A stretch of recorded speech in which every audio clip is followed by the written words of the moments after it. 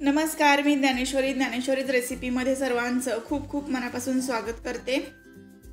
आजच्या रुटीनमध्ये माझ्याकडे ज्या काही टिप्स मी वापरल्या आहेत आजच्या दिवसभरात त्या तुमच्यासोबत मी शेअर करणार आहे. तर पहिली टिप आपली अशी आहे की साबणाचे बॉक्सेस असतात ना तर ते पण मी तुम्हाला दाखवणार आहे की मी त्याचा रिकामा झालेला जो कागद असतो किंवा पेपर असतो साबणाच्या वरचं कवर त्याचा मी उपयोग कसा करते ते पण दाखवणार आहे. तर ती टिपसुद्धा खूप जास्त महत्त्वाची आहे. व्हिडिओ शेवटपर्यंत बघा. टॉवेल जेव्हा सकाळी सकाळी ओला असतो तेव्हा लगेचच आपण हवेला टाकायचा. म्हणजे उन्हामध्ये पण टाकला तरी चालेल कारण की उन्हाने पटकन तो कडक होतो वास येत नाही. आणि वाळला जातो त्यातली दुर्गंधी वगैरे वास वगैरे सगळा निघून जातो. दररोजची दररोज टॉवेल स्वच्छ धुणं देखील पॉसिबल नसतं. जर धुत असेल तर अगदीच बेटर आहे. पण दररोजच्या दररोज जर तुम्ही स्वच्छ असा धुत नसाल तर नक्कीच तो वापरला गेला की लगेचच आपण बाहेर टाकायचा. जेणेकरून आपल्या ज्या गॅलरीमध्ये ऊन येत असेल हवा येत असेल अशा ठिकाणी टाकायचा. पुढची टीप आहे घरामध्ये आपल्याकडे राहतं कधी कधी एक्स्ट्राचं आलं किंवा अद्रक. तर हे अद्रक आहे ना तर ते थोडंसं जरी एक्स्ट्रा असलं तरी लगेच त्याला कोंब यायला सुरुवात होते. माझ्याकडे थोडंसं एक्स्ट्रा राहिलेलं जे अद्रक आहे तर ते खूप दिवसापासून होतं. अर्धं वापरलं गेलं आणि अर्धं तसंच होतं. त्याला थोडासा कोंब आला होता म्हणून मी ते सगळं आता माझ्याकडे दुसरे प्लांट होते. तर त्या प्लांटच्या याच्यामध्ये प्लांट ज्याच्यामध्ये मी लावलेले आहेत ना तर त्याच्या कुंडीमध्ये मी त्याला लावून ठेवले जेणेकरून ते अगदी फ्रेश राहतं हिरवगार राहतं. पुढची टीप म्हणजे चहा पिल्यानंतर जेव्हा कब्बशी असते ती पटकन पाणी टाकायचं त्यामध्ये. नाही तर चिकटपणा तसाच राहतो आणि कब्बशी खराब होते. आणि मग ते चिकट काढायलासुद्धा काढायला सुद्धा घासायला सुद्धा वेळ लागतो. मिरच्या डायरेक्टली एखाद्या प्लास्टिक पिशवीत आपण बाजारातून घेऊन येतो. तेव्हा त्या जर तशाच राहिल्या तर काय होतं की खराब होतात मिरच्या. चार पाच दिवस जरी राहिल्या तरी खराब होतात. पटकन त्याची बाजारातून आणल्यानंतर स्वच्छ धुवून घ्यायच्या. आणि नंतर देठं वगैरे काढायचं. जसं भाजीपाला धुवून घेतोच आपण तसंच याला धुवून घ्यायचं. साध्या पाण्याखाली धुवून घेतलं तरी चालेल. किंवा खूप जास्त तुमच्याकडे पाऊस वगैरे चालू असेल तर नक्कीच मिठाच्या पाण्याने भाज्या धुवा. जेणेकरून यामध्ये कुठलाच कुठले कुठलेच जंतू राहत नाहीत किंवा पावसामध्ये इकडून तिकडून भाज्या आलेल्या असतात. वातावरण प्रदूषण झालेलं असतं वातावरणामध्ये सगळं. तर हवेमध्ये सुद्धा पावसामध्ये सुद्धा खूप जास्त बदल आहेत. आणि त्यामुळे भाजीपाल्यावर माशा वगैरे बसल्या जातात बाहेर. तर ते तसं असू नये म्हणून आपण जर भाज्या बाहेरून आणत असलो तर नक्की स्वच्छ धुवूनच घेतल्या पाहिजेत. स्वच्छ धुतलेल्या मिरच्या मी कोरड्या केल्या देठं काढले. देठं काढल्यानंतर मिरच्या खराब होत नाही शक्यतो. आणि आता जरी पिकत नसतील मिरच्या तरी सडतात नक्कीच. त्याच्यामुळे देठं काढूनच ठेवायच्या आणि कापडी पिशवीत भरून मी ठेवल्या. फ्रीजमध्ये ठेवायच्या जशाच्या तशा. व्यवस्थित राहतात कापडी पिशवीमध्ये. सगळं शक्यतो प्लास्टिक पिशवी अवॉइड करायची. पुढची टीप म्हणजे आता मला सकाळी स्वयंपाकाची घाई होती. त्यावेळेस मी नाश्त्याला पोहे बनवले होते आणि भाजी चपाती म्हटलं तर कारल्याची भाजी बनवली होती. तर हे सगळं आवरून घेतल्यानंतर काही टिप्स मी अजून शेअर केलेल्या आहेत तुमच्यासोबत इथे किचनमध्ये. त्यामुळे मी हा व्हिडिओ घेतलेला आहे. इथे जेव्हा आपल्याला टिफिन भरायचा असतो ना त्यावेळेस स्वच्छ असा टिफिन मी धुवून घेतला आधी आणि नंतर तो कोरडा करायला ठेवला. त्यानंतर एक खूप महत्त्वाची टिफिनच्या रिलेटेड मी टिप शेअर केली आहे तुमच्यासोबत. तुम्हाला नक्कीच ती आवडेल सुद्धा. तर क्लिनिंगच्या वेळी सकाळी जेव्हा जेव्हा थोडी थोडी भांडी पडतात ना तेव्हा लगेचच घासून घेतली की मग जास्त आपला पसारा होत नाही आणि जास्त भांडी पण एकदा साठत नाही आणि वेळ द्यावा लागत नाही. खूप जास्त आपल्याला स्पेशल वेळ भांड्यांसाठी काढावा लागत नाही. जेव्हा आपण किचनमध्ये असतो तेव्हा थोडी थोडी भांडी पडली की लगेचच ती घासून घ्यायची. एकदाच का ढिगारा झाला की मग आपल्यालाही ते जीवावर येतं घासायचं किंवा नको वाटतं की आता खूप जास्त भांडी झालेली आहेत अगदीच बेसिन आपलं भरलेलं आहे. आणि त्यानंतर आपण घासायला घ्यायची म्हणजे खूप जास्त ढिगारा होतो. आणि अर्थातच आपल्याला ती जास्त असली की कंटाळा नक्कीच येतो. त्यामुळे थोडे थोडे भांडे घासले की आपल्याला भांडे जास्त पडलेले आहेत घासायला असं वाटत नाही. सकाळी चहाची भांडी झाली आणि टिफिनची भा टिफिन बनवला की मग एकदा स्वयंपाक झालेलाच असतो टिफिनसोबत त्यामुळे भांडी लगेच घासायची. नाही तर ती तशी साठू दिली की दु दुपारपर्यंत खूप जास्त ढिगारा होतो आणि मग ते घासायला नको वाटतं. चहाची भांडी तर शक्यतो लगेचच घासली पाहिजे तर इथे मी चहाची चाळणी म्हणा किंवा चहाची कबशी असेल कप असतील सगळंच एकदा स्वच्छ धुतलं. आणि बघा मी साईडला जे आता फरशीवर ठेवलेले आहेत भांडे ते तुम्हाला मुद्दाम ठेवून दाखवले. असं ठेवलं की काय होतं की भांड्यांमधलं पाणी निथळून जात नाही आणि ती जस जसच्या तशी आतून ओरली राहतात. त्यामुळे असं जर तुम्ही सुद्धा भांडी साईडला ठेवत असाल तर ती ठेवू नका. भांडी आपल्याला काय करायची आहेत? जाळीमध्येच ठेवायची. तात्पुरती जरी तुम्ही अशा परत पद्धतीने ठेवली तरी लगेच उचलायची कारण जास्त वेळ भांडी अशीच राहिली की फरशीवर डाग तर पडतातच. पण भांडी देखील आतून ओलीच राहतात.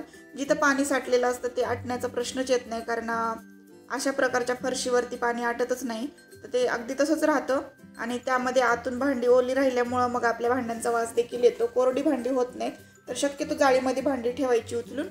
आणि किचन ओट्यावर थोडंसंही पाणी ठेवायचं नाही सतत वापरणं आपल्याला ते काढून घ्यायचं पाणी सा सरकवून घ्यायचं इकडं तिकडं जर पडलेलं असेल थोडंफार तर. म्हणजे आपला किचन ओटा स्वच्छ राहण्यास मदत होते. भांडी घासल्यानंतर शक्यतो थोडंफार जरी कचरा असेल अडकलेला सिंकच्या जाळीमध्ये तो पण काढायचा. आणि सिंकची जाळी वारंवार घासत राहायची. जेव्हा जेव्हा आपण भांडे घासतो ना तेव्हा सिंक पण घासून घ्यायचं.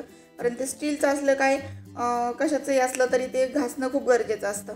नाही घासलं तर त्यावरती वेगवेगळे दागधब्बे पडतात तेलकटपणा येतो आणि त्यामुळे आपल्याला किचनमध्ये फ्रेश वाटत नाही.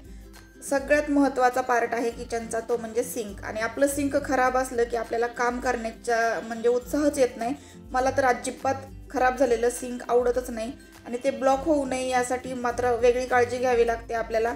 ते पण मी तुमच्यासोबत शेअर केलेलंच आहे. यामध्ये जर आपण खरकट वगैरे टाकलं तर ते ब्लॉक होतं. तसं होऊ नये म्हणून आपण खरकटं वेगवेगळं काढायचं. आणि त्यानंतर बघा बारीक सारीक कण जाणार नाही यामध्ये याची पण काळजी घ्यायची. व्यवस्थित भांडी घासल्यानंतर सिंक व्यवस्थित क्लीन करायचं. बघा तुम्ही किचनमध्ये तुम्हाला खूप जास्त फ्रेश वाटेल दिवस खूप चांगला जातो आपला. आपलं सिंक व्यवस्थित असेल तर. तर मी आता टिफिन भरलेला आहे. टिफिनमध्ये कारल्याची भाजी आणि बीट पण दिलेलं आहे. तर बीट खूप आरोग्यासाठी आपल्या हेल्दी राहण्यासाठी चांगलं असतं. कारण की हिमोग्लोबिनचं प्रमाण झपाट्यानं वाढवायचं असेल तर नक्कीच बीट एकदा आठवड्यातून एकदा किंवा दोनदा खायचं. कमीत कमी एक ते दोन बीट आपल्या आठवड्यातून पोटात गेले पाहिजेत याची काळजी घ्यायची. अगदी माझ्या घरामध्ये लहान मुलांपासून मोठ्यांपर्यंत सगळ्यांना बीट आवडतं आणि बीट हे आवडीनं खाल्लं पाहिजे. वेगवेगळ्या माध्यमातून बीट खाता येतं. बीटची पुरी करू शकतो बीटचा हलवा करू शकतो. खरं तर हलवा खूप छान लागतो बीटाचा. तर हा हलवा आपल्याला बनवायलाही तेवढाच अवघड नाही आहे खूप जास्त सोप्या पद्धतीने आपण त्याला बनवू शकतो. आणि आता इथे स्लाईस पण करून खाऊ शकतो आपण. तोंडी लावताना जेवताना आपण दोन स्लाईस जरी आपण खाल्ल्या दररोज तरीसुद्धा खूप झाल्या.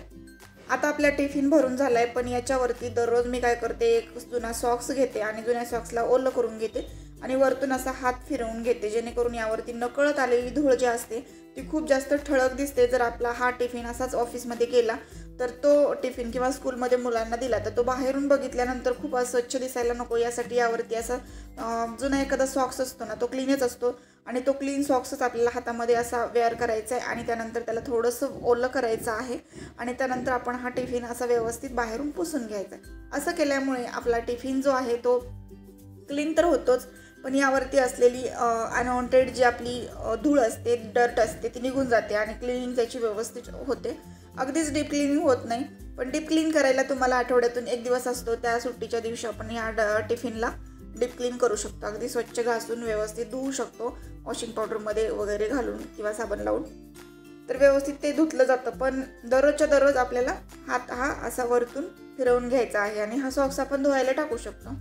आता बरेचदा काय होतं की आपले निरमा पावडर असते त्यामध्ये नकळत थोडंसं पाणी गेलेलं असतं आणि त्याची अशा प्रकारचं एक गुठळी बनलेली असते. तर ही गुठळी काय होते की हाताने फुटत पण नाही आणि आपल्याला तेवढी नको पण असते. तर इथे माझ्याकडे सुट्टा थोडासा निरमा होता तो टाकला आणि नंतर ही गुठळी फुटत नव्हती. त्यामुळे एक छोटीशी मी सोपी ट्रिक वापरली. कारण मला एवढी घ्यायची पण नव्हती. मग मी खिसणी घेतली. किसणीने ह्याला थोडंसं किसून घेतलं आणि मग राहिलेलं अर्ध अर्ध अर्धी गुठळी मी तशीच ठेवली जेणेकरून मला ती नेक्स्ट टाईम वापरता येईल. तर या पद्धतीने निरम्याच्या पुड्यामध्ये जर ओला हात वगैरे थोडासा लागला किंवा काय झालं तर ते गुठळी अशी तयार होते. आणि ती बरेचदा आपल्याला पाण्यामध्ये टाकून विरघळून घ्यावी लागते. पण पूर्णच घ्यायची नसेल तर तुम्ही किसनीने त्याला किसून घेऊ शकता. आता मी या पाण्यामध्ये निरमा पावडर टाक वॉशिंग पावडर कोणतीही कुठल्याही ब्रँडची असेल तरी चालेल पण त्यासोबत आपल्याला टाकायचं आहे इथे मेडिक्लोर मेडिक्लोर थोडंसं जरी टाकलं तरी पांढरे कपडे खूप छान आणि स्वच्छ निघतात. त्यामुळे आपल्याला हे वापरायचे. बऱ्याचदा पांढरे सॉक्स हे अगदी पांढरे शुभ्र निघतच नाहीत. तेव्हा हे ट्राय करून बघा नक्कीच. अगदी जास्त नाही टाकायचं पण चमच्याभर तरी आपल्याला एक वेळच्या स्वच्छ कपड्या धुण्यासाठी टाकायचं आहे. तर इथे दोन ड्रेस आहेत मुलांचे आहेत ते सुद्धा. मोठ्यांचे जरी शर्ट वगैरे असतील तरी तुम्ही मेडिक्लोर टाका. बारीक बारीक सारीक जे न दिसणारे दाग असतात ना ते यानेच निघून जातात. चहाचे भाजीचे असतील ऑइलचे असतील तर हे सगळे दाग काढण्यासाठी मेडिक्लोर खूप जास्त युजफुल आहे. डायरेक्टली दागांवर टाकाल तरी सुद्धा दाग निघून जातो. पण जर या पाण्यामध्ये टाकलं तर न दिसणारे बारीक सारीक डाग सगळेच शर्टावरचे निघून जातात. पण या पाण्यामध्ये आपल्याला शर्ट जे आहे ते साधारण दहा ते पंधरा मिनिट आपल्याला भिजत ठेवायचं आहे. कारण वॉशिंग पावडरमध्ये आणि याच्यामध्ये टाकलेलं मेडिक्लोर आहे. या दोन्हीची रिॲक्शन होऊन आपल्या कपड्यांवरती त्याची खूप छान असा इफेक्ट त्याचा होतो. आणि त्यामुळे आपले कपडे व्हाईट कलरचे खूप जास्त व्हाईट दिसायला लागतात. आणि त्याच्यावरती छान चमक येते. व्हाईट कपड्यांवरती. तर मी सुरुवातीला इथे यामध्ये सॉक्स टाकलेले आहेत. आणि त्यानंतर मग बाकीचे कपडे मी भिजत ठेवणार आहे. बघू शकता खूप छान पद्धतीने याची क्लिनिंग होते. आणि जर तुम्हाला या माझ्या सगळ्या टिप्स आणि ट्रिक्स आवडत असतील तर व्हिडिओला लाईक करा. आत्ताच अजून पुढच्या काही टिप्स आहेत त्या मिस करू नका. सगळा व्हिडिओ शेवटपर्यंत बघा.